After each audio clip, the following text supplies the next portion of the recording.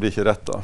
Um, så det som jeg skal gjøre i dag, nå da, det er å ta en sånn kort oppsummering og så se litt på tidligere eksamensoppgaver. Kanskje si litt hva som er litt ekstra i, i år. Så um, um, Har jo lagd noen slides her, men jeg skal ta oss og skrive opp en del ting på tavla som er viktigst. Som også står i notatene, for så vidt. Her skal vi se. Siste forelesning, da.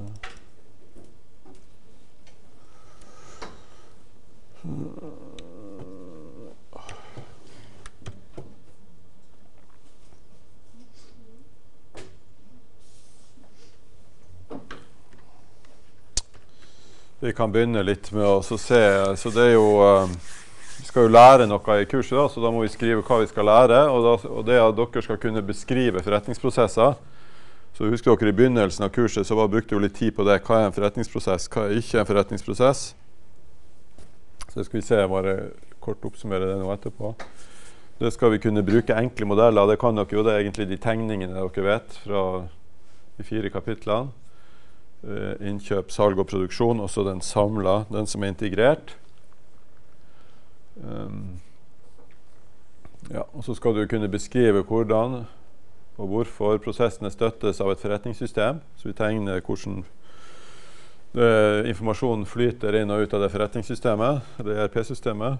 Og så for hver av de her da, skal vi kunne beskrive arbeidsflyten, workflow, hva hver enkelt arbeidstaker gjør, dataflyten, Uh, det vil si de, det som inngår i hvert dokument. Så får vi dokumentflyten og informasjonsflytene når vi ser på de samla for hver prosess. For tre prosesser, ja, og hvordan disse kan integreres, og hvordan de med og uten ERP-system. Ja. Så eksamen dreier seg jo å spørre om et eller annet rundt det der. da. Uh,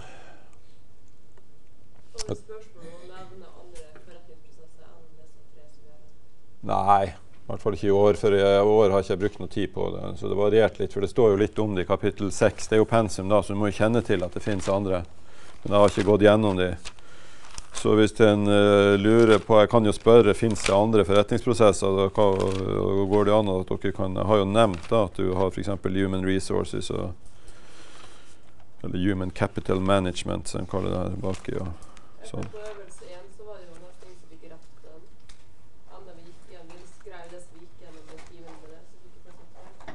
Ja, stemmer det.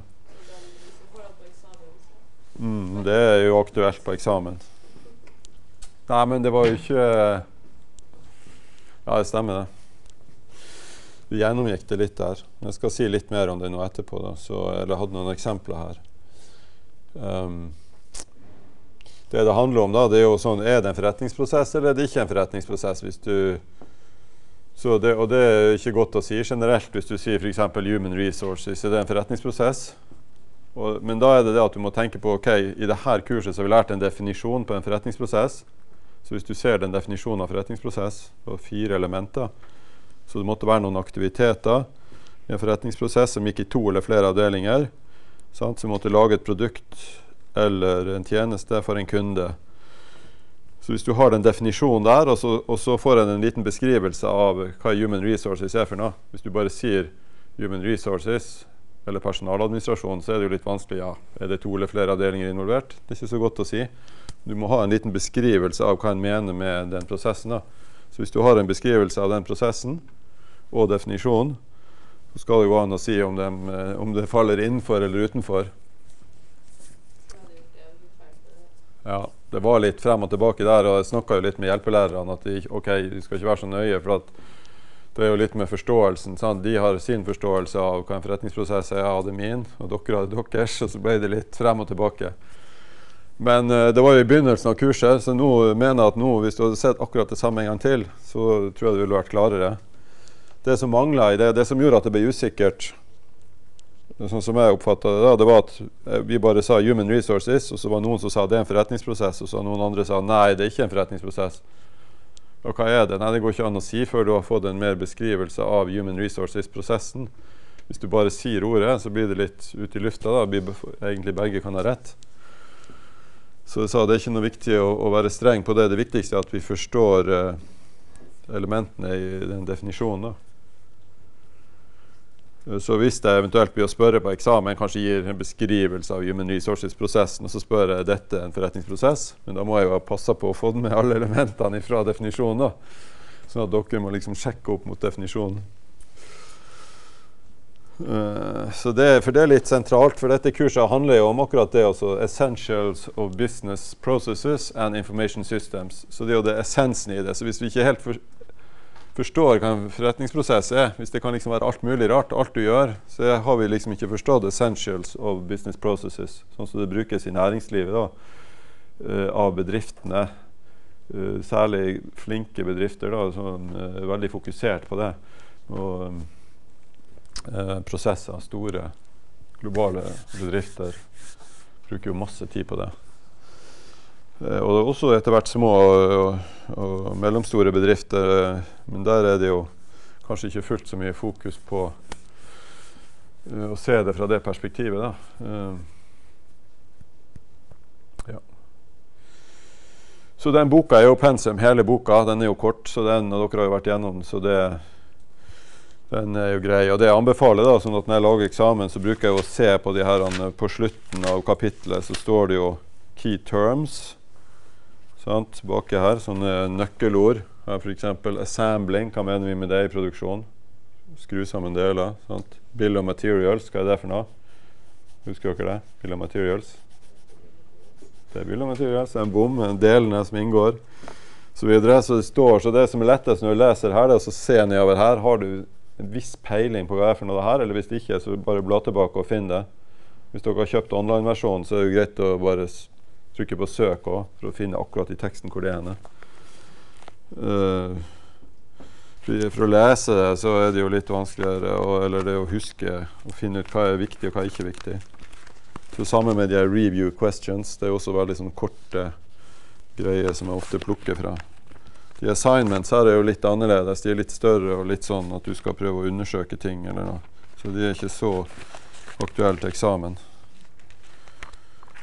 Hvis dere ser på de for hvert kapittel, så, så er det bra.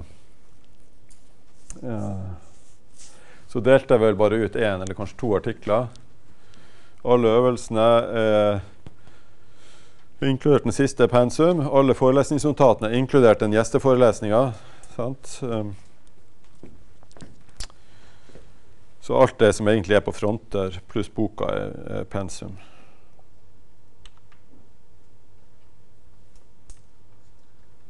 Så vil jeg bare poengtere litt nå rundt det her med funksjoner versus prosesser.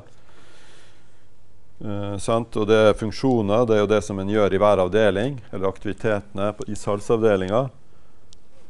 I markedsføringsavdeling, hvis vi har en egen av det.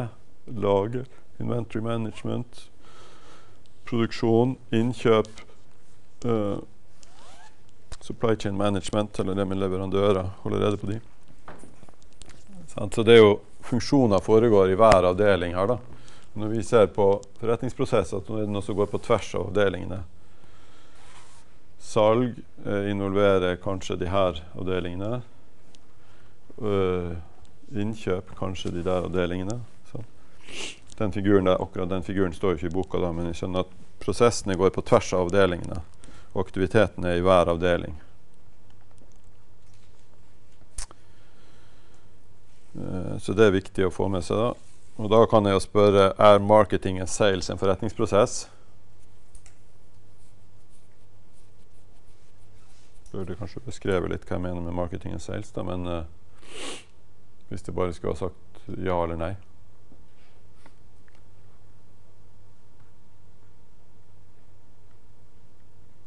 Jeg skal ta en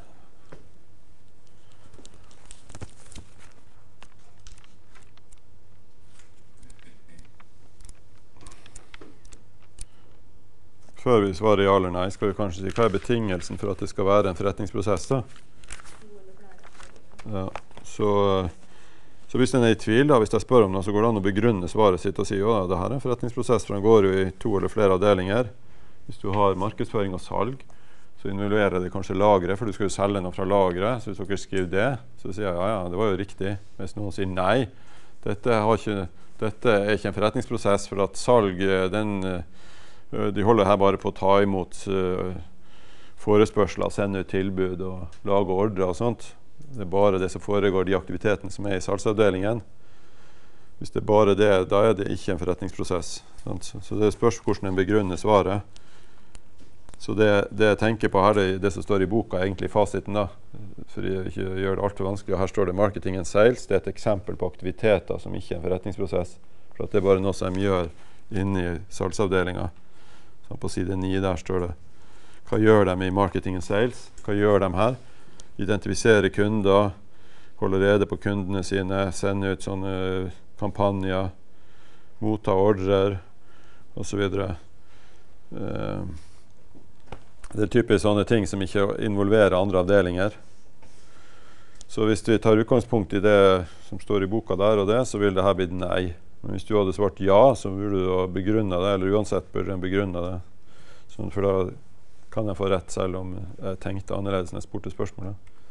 Så her vil det bare svare nei, fordi det involverer bare én avdeling. Enig?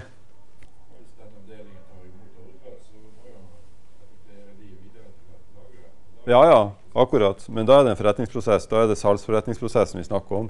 For da går du videre da, og ser på neste ledd òg. Så det er riktig. Men akkurat her, hvis eh, hvis jeg lista opp det som sto her da i boka, 'Marketing and Sales', og så sa hva de gjør dem, og så spurte jeg, så ville det ikke være det. Men hvis, hvis du tar med lager og det som vi har snakka om i salgsforretningsprosessen, så er det klart, da er det en forretningsprosess.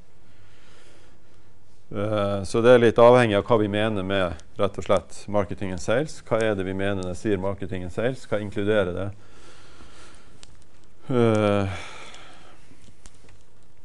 Tilsvarende er disse forretningsprosesser, og så har jeg bare lista opp det som sto her i den tabellen. Uh, purchasing står i boka. Nei, ikke hvis det er det som står her. Hva gjør de i, på innkjøpsavdelinga? Da gjør de, de finner ut hvilke leverandører som finnes. Skal velge leverandør. Lage innkjøpsordre og sånne ting. Så det er, ikke, det er ikke innkjøp i seg sjøl, er ikke en forretningsprosess. Det er først hvis du ser på innkjøpsforretningsprosessen, hvor det involverer alt ifra du gjør en bestilling, får det inn på lageret, betaler osv. Da er det en forretningsprosess. Så dette her er fra tabell 1.1 side 9. Så hvis, hvis, vi ser på beskrivelsen av hver av de her, så vil vi se at det er veldig det enkle operasjoner eller aktiviteter som foregår innen en avdeling. Og da sier vi nei, da er det ikke en forretningsprosess er disse forretningsprosesser. ok, Innkjøpsforretningsprosessen, salgsforretningsprosessen. Ja da, det er det, for de foregår i minst uh, eller to eller flere avdelinger, og de gir et produkt til en kunde.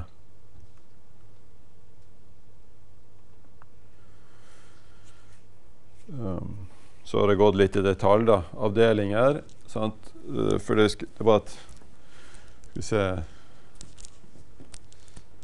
um, det går i to eller flere avdelinger. Sant? Så ok, Hvilke avdelinger er det? Jo, her er det tre avdelinger. Lager, innkjøp, økonomi.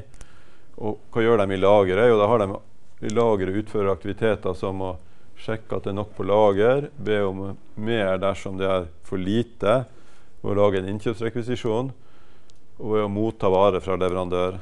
Så det gjør de, det er aktiviteter på lager. På innkjøp så godkjenner de innkjøpsrekvisisjoner ved å lage og sende innkjøpsordre og på økonomi så uh, mottar de faktura, uh, sjekker at bestilling, faktura og mottatte varer stemmer før de betaler.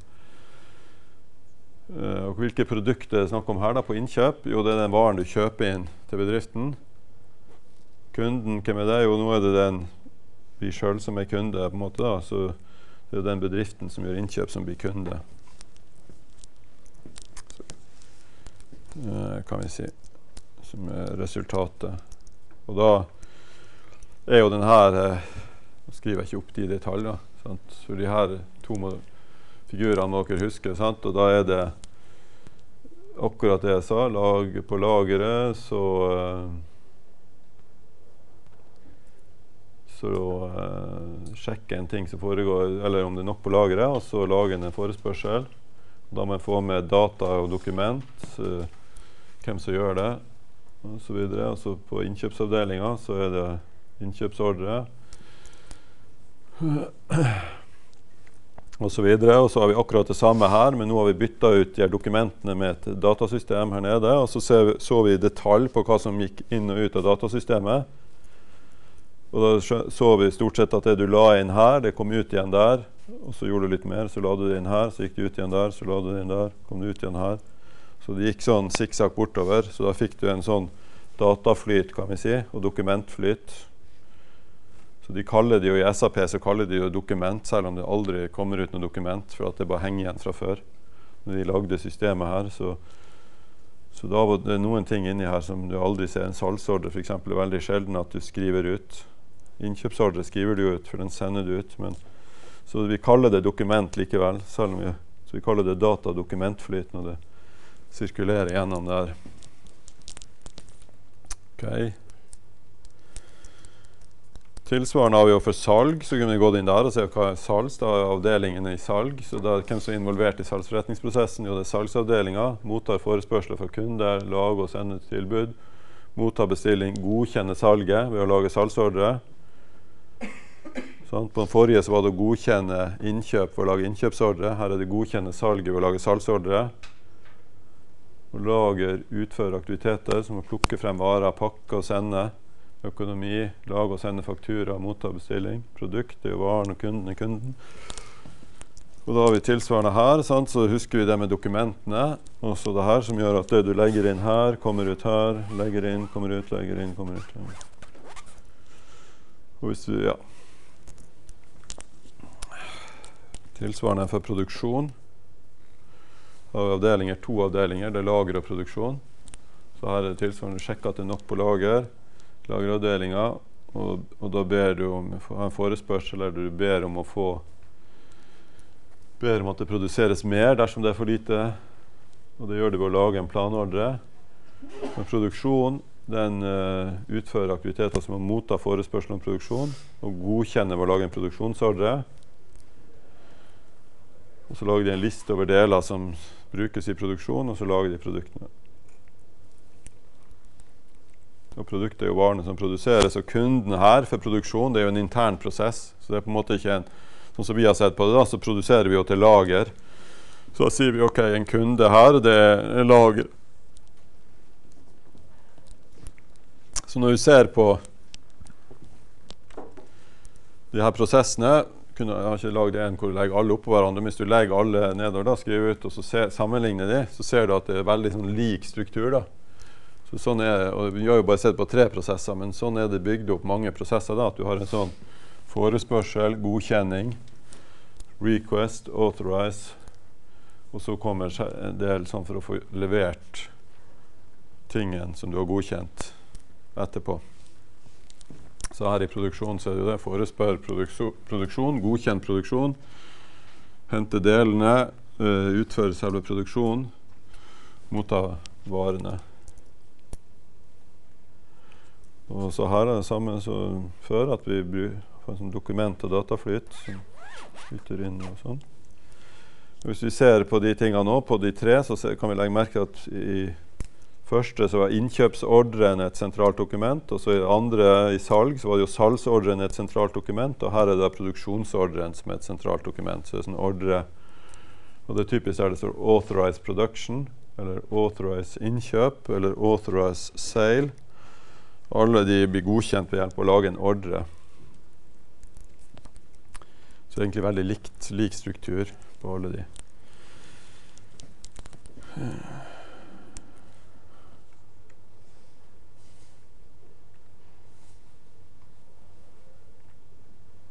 Og så den siste integrert prosess, som er veldig vanlig i store bedrifter. Da, at alt det her henger sammen på et vis. Så så da la vi på så det ble litt mer, la på noen nye element, som beslutninger. Sant? Så kom vi bort her, og så lagde vi en salgsordre, men så må vi sjekke. De på lageret må sjekke, da. Så vi skrev det. Er det nok uh, varer det du skal selge på lageret. Og hvis det er det, så fortsatte jo bare salgsprosessen sånn som før. Du plukker de og sender de ut, og sender faktura og mottar betaling. Men hvis det ikke er det, og vi så på et eksempel da at hvis det ikke var det, så må du produsere mer. Så da er det produce goods, og da starter det jo produksjonsprosessen. Du forespør mer produksjon, godkjenner den, og så må du sjekke er det nok råvarer på lageret. Hvis det er det, så er det greit, da bare fortsetter du. Hvis ikke, så må du starte innkjøp av råvarer. Og så gjør du det, og når du har fått inn nok råvarer, så, så fortsetter du med produksjonen. Og da kan du gjøre det, betale for de råvarene parallelt med at du fortsetter produksjonen. Så fortsetter du produksjonen, får det, legger det på lageret, og når du kommer inn på lageret, så kan øh, salgsprosessen fortsette.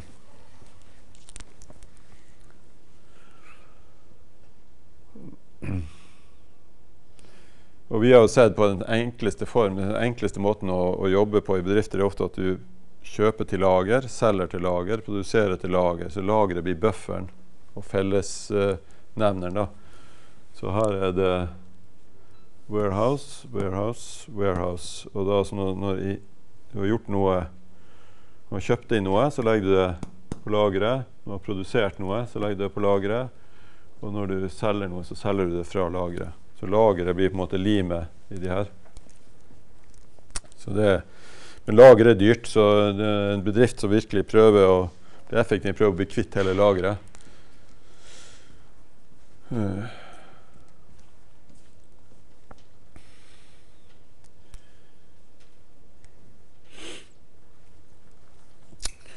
Men det ser ikke vi på. for I prinsippet er det det samme. Da. Uansett så må en jo ha et visst lager, vil jeg tro.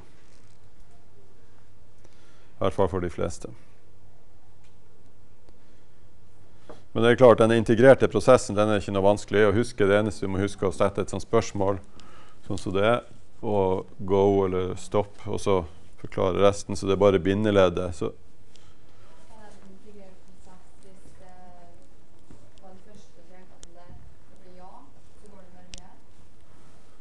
Uh, da er det jo bare én prosess, da. Sånn at da uh, den, den, er jo uh, Hvis du tar et eksempel, da, at du finner Oi, det var nok varer på lager. Så er jo ikke det eksempelet et eksempel på en integrert prosess, for den går jo bare rett frem. Men typisk hvis du skulle sette ned i SAP, da, så ville du konfigurere inn det her, og så ville du sette opp OK, hvis du sjekker nå at det er, for, uh, er det nok på lageret, det kan du be SAP sjekke automatisk da, når du legger inn en salgsordre så legger du inn ti stykker da, skal kjøpe ti uh, røde sykler f.eks. Og når du legger inn det, så sjekker SAP automatisk om det er nok på lageret. Hvis det er nok, så fortsetter han der. Hvis det ikke, så, så, må du da, når du setter opp systemet, si OK, nei, det er ikke nok, da starter vi produksjon. Kan du sette det opp at da automatisk så vil det bli starta eller lagd en sånn produksjonsforespørsel. da. Plan order.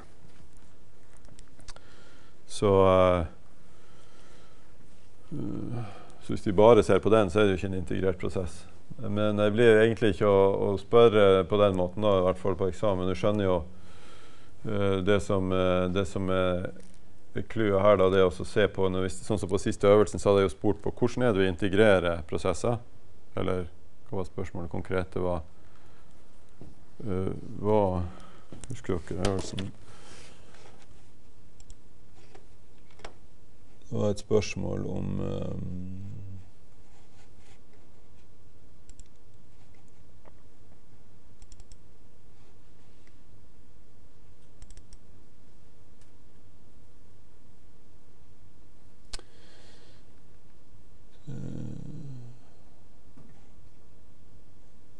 kanskje OK, her var det litt sånn uh, Skal vi se Forstørre det litt.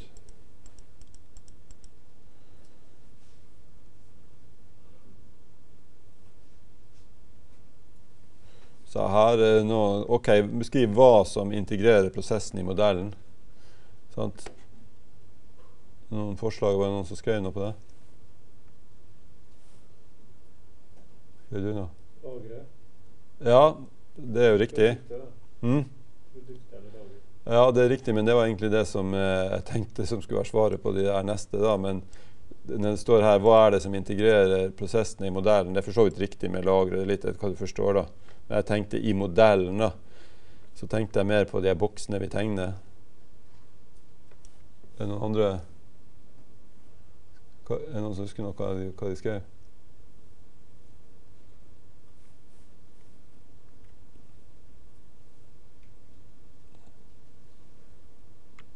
Det, det, som jeg må se, Siden det står modellen, da, så må en tenke litt på ok, hvilke modeller har vi. Nei, vi har bare de pilene bortover. da. Når det er integrerte modeller, den integrerte prosesser, så hadde vi jo et par ekstra bokser. sant? Så de er ute etter. de her. Hva er det som gjør at du integrerer? Jo, i modellen så er det så er det, det at du stiller et spørsmål, og så har du to alternative handlinger. da.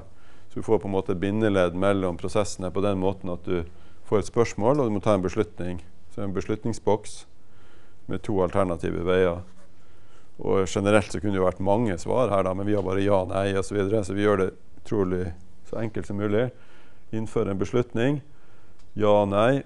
Gå videre. Så det er det som er i modellen for det her til å bli en integrert prosess, det at du innfører et nytt symbol. Men det er ikke noe galt hvis du sier OK, de henger sammen med lageret, for det var egentlig det som var neste. Så i praksis, så jeg sier operativt, hva er det som får de tre prosessene til å henge sammen i praksis operativt? Altså hvordan uh, gjør det? Ja, hvis du skal selge noe, så må det være på lageret. Hvis det ikke er på lageret, så må du få det inn på lageret. Så det er lageret som er limet her, som får tingene til å henge sammen. Så det var det som jeg, jeg var ute etter her, da.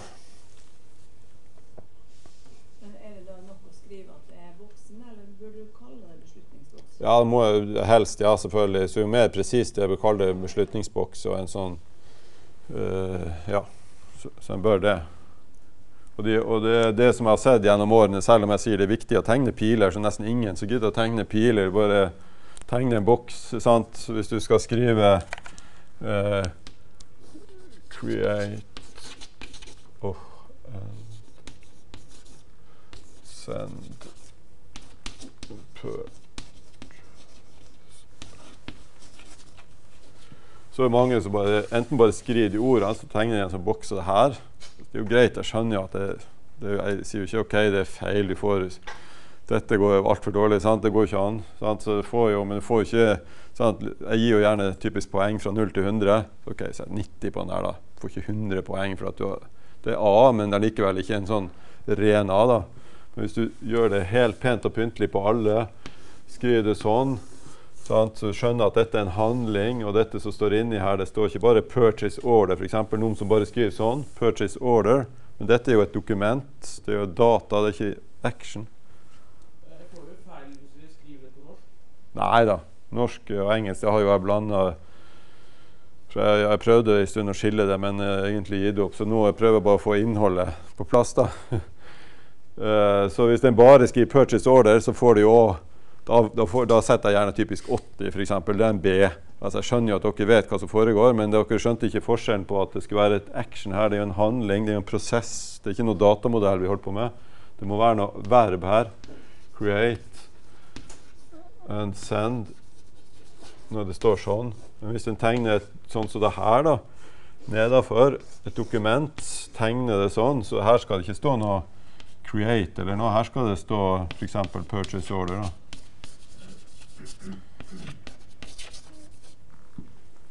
For det er data, og, og nesten all sånn modellering som holder på mye med det, så er det to ting. Det er enten det er prosess eller data. Prosess eller data, Så det blir svære modeller. Da. Altså noen sitter bare med datamodellering. Uh, mange stillinger bare knytta opp til datamodellering. Og noen sitter bare med prosessmodellering. Men vi har jo smurt alt sammen i ett, og i tillegg har vi jo til og med lagt på organisasjon her oppe. da. Organisasjon så her er det jo purchase order, så her er jo innkjøp. Kjøp. Så vi har virkelig toucha borti flere ting her, da. Så det er litt viktig å være nøye. Sant? Skriv, og det, I og med at du vet det her, så, sant, du husker de figurene, så bare skriv det sånn. Sant? OK, står det sånn bortover. De pilene, og, og, antall piler er rett. Om det er akkurat skrevet 'create and send' og sånn, er jeg ikke så nøye på det. Om det er på norsk eller engelsk, det er heller ikke så nøye på, men at det er riktig antall element, og at det er sånn logisk, det som foregår bortover, sant, så blir det 100 Er det et eller annet som mangler, så trekker jeg litt. Uh,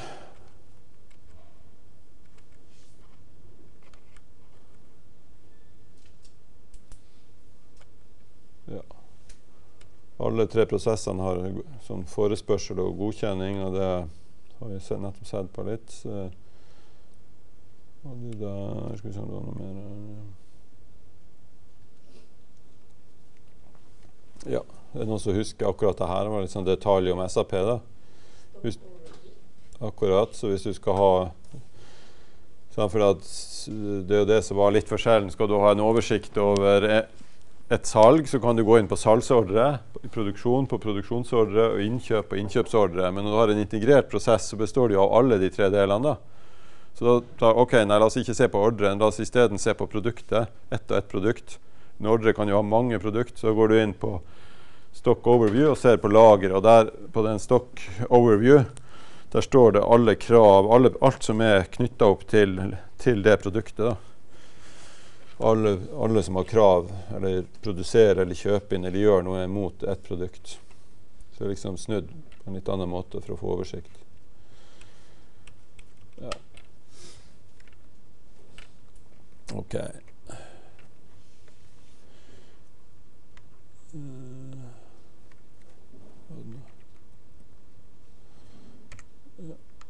Så jeg har brukt litt uh, tid på så vi kan ta det òg.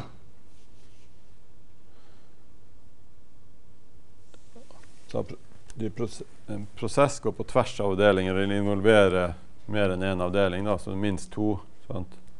Og hva, hvordan ser vi det? Produksjonsavdelinga er jo ansvarlig for å utføre aktiviteter som hører tett sammen. Mens en produksjonsforretningsprosess utføres av to avdelinger, i eksempelet i boka lager- og produksjonsavdelinga. Så ingen enkeltavdeling er ansvarlig for å utføre hele produksjonsforretningsprosessen. Så det bruker jeg litt tid på i boka. å si, ok, Hva er det som foregår da i en bedrift når du kommer inn og så spør hvem er som er ansvarlig for salg? Og da går det noen typisk Ja, det er jo salgssjefen, det. Ok, Men jeg mener ikke salg, kan du si. Jeg mener salgsforretningsprosessen hele ende til ende fra du får inn en ordre til du har levert varen. Og da er det stort sett masse sånn flakkende blikk. Ja, hva du mener? Det er jo ja, de på lageret leverer jo. og Det er liksom ingen som sitter med den ende-til-ende-ansvaret typisk i en bedrift. da. Um, så hvis dere tar organisasjonsfag, er det noen som gjør det? Du tar det der, har det jo som matriseorganisasjon. Da er det jo typisk sånn at de ja, avdelinger nedover, men så går prosessene på tvers. og En prøver å å få det til å virke. Men det er ikke så lett altså, at noen er ansvarlig. Hvis du sier ok, du kan være ansvarlig for salgsprosessen, og så går du bort til salgssjefen og sier hør her, du skal gjøre det på en annen måte, så, sier, så blir det selvfølgelig vanligvis en konflikt. da, nei, hør her, salg kan jeg, nå må du ikke komme her og fortelle. Dessuten blir vi målt på sånn og sånn og sånn, og vi gidder ikke gjøre sånn, for det, det taper jo vi på. Sånn, sånn at det blir, det blir veldig fort at det blir sånn. Uh,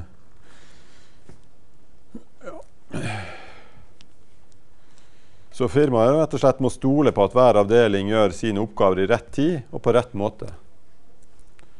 Uh, hvis ikke, så fungerer det ikke. Så, så jeg har vært på en par konferanser tidligere, og da når jeg satt og hørte på, så har jeg brukt og spurt ja, hvem er det som er ansvarlig for hele prosessen. da, når de begynner å forklare. Så, og da blir det litt sånn uh, virre, med blikket. Alltid. da, det er altså aldri å men det var en gang jeg var på sånne konsulenter som jobber med RP-system. De bruker jo mye konsulenter, firmaer, når det gjelder RP-system. Og de sier ja, det er jo vi det. Det er vi som passer på at det fungerer ende til ende. Så det er jo stort sett sånn. Hvis du skal innføre et ERP-system, så leier du inn en konsulent, for de har vært i mange bedrifter, dem. Så da ser de å ja, det er jo det samme egentlig i hver bedrift. Fra du skal forespørre noe, få det godkjent, få det utført. Forespør, godkjent, få det utført. Så det går igjen om igjen om igjen. Så de har liksom det metablikket. da.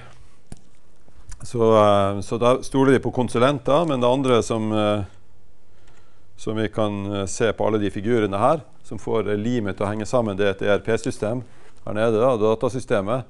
For Hvis du legger inn her da en forespørsel, og så dagen etter så er det ingen som her på ingen her uh, i produksjon som har tatt tak i den forespørselen om produksjon. Han bare ligger der som en forespørsel. Da er det lett i, i SAP så kan du bare velge da, ok, da må det sendes en SMS til han produksjonssjefen eller en e-post om at uh, hør her, nå må du ta tak i den ordren. Og hvis det ikke det skjer noe, da, at den, ordre, den forespørselen er gjort noe med la oss si, i løpet av den dagen, så det, kan det gå en automatisk en SMS til sjefen hans igjen om at uh, nå er det stoppa opp her. Så da er det systemet her på en måte som er limet, limet her. da. Det er sånn workflow. Tok jeg ikke med mobilen min, men uh, jeg lasta ned De har lagd app nå, uh, SAP, som heter Streamworks, hvor du legger inn på mobilen. Da, så bare legger du inn hva som skal skje, og så så piper det da når du, hvis uh, du f.eks. står i dag, så skal du gjøre det og det og det. Så står det hva de andre har gjort, så står det hva du har gjort. Uh, sånn at du får, kan få det bli påminnet hele tida. Så, så, så, det å passe på at det glir på tvers her, det, det er egentlig ingen sitt ansvar tradisjonelt, i hvert fall. Selv om du har noen som forsøker å få det til. Men datasystemene hjelper oss veldig til å passe på at det glir gjennom på en god måte.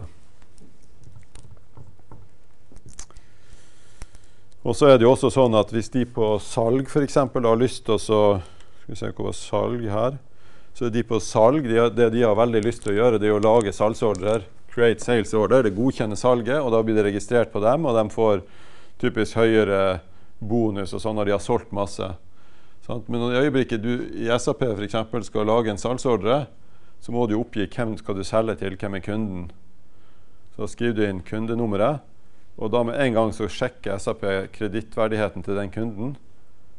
Har du utestående fordringer f.eks., for så får du ikke lov hvis det er typisk konfigurert sånn da, at da får du ikke lov å lage en ny salgsordre. Så selv om de på salg har veldig lyst til å få opp salget da, og lage en ny salgsordre, så blir de stoppa av systemet fordi at det ikke er kommet inn på accounting, har ikke fått inn betalinga fra forrige salg.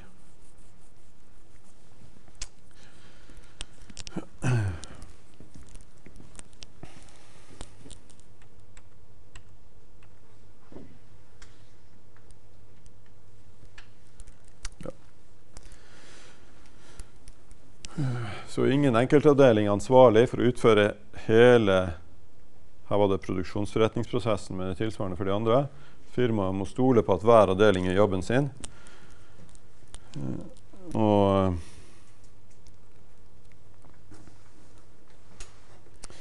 Det som er litt forvirrende, da, derfor jeg skrev det her veldig sånn tydelig og Det som gjøres i produksjonsavdelingen, inni den avdelinga, det kan jo sies å være en produksjonsprosess. Ingen kan si og nekte på at de som står og skrur, holder på med produksjon.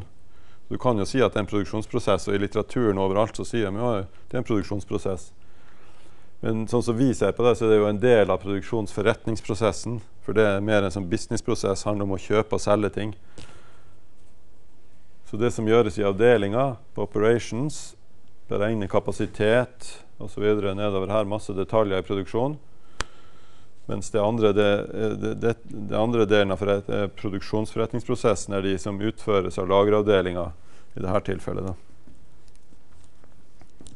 Så vi får det inn på lager, og da kan vi jo selge det. Så tilsvarende er det jo skille mellom ja, i salg Da kan vi si at det som er på salg, kan vi jo kalle en salgsprosess. Det er ingen som kan nekte det, men en salgsforretningsprosess det er mer enn de tingene her som foregår i salgsavdelinga. Forretningsprosessen utføres også i lager- og regnskapsavdelinga eller økonomiavdelinga. så vi kan kalle det Tilsvarende på innkjøp. Det som gjøres i innkjøpsavdelinga, er masse, mange ting de holder på med.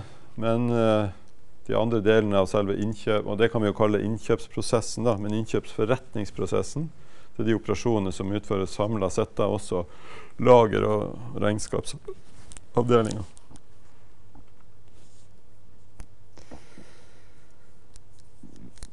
Ja. Så da tar vi en pause, og så skal vi se på litt andre ting etterpå.